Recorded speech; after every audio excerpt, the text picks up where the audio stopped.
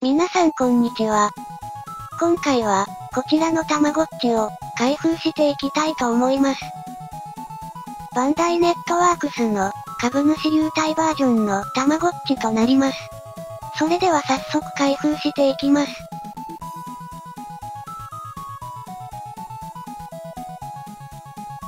中には、本体の他に、分厚い説明書が入っていました。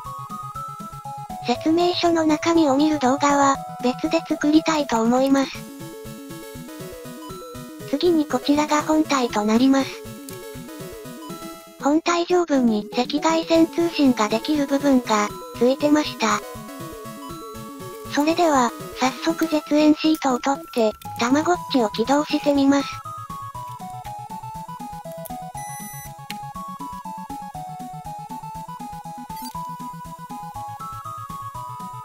まずは、日付と時刻の設定をします。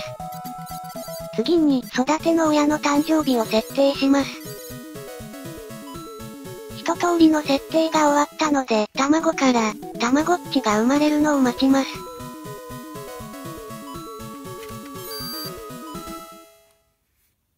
たまごっちが生まれました。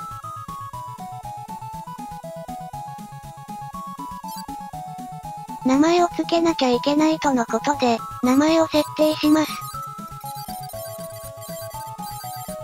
たまごっちの名前は、チャンネル名にしてみました。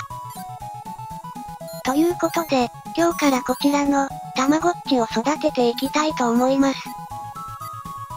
それではまた次回の動画で、お会いしましょう。今回は以上です。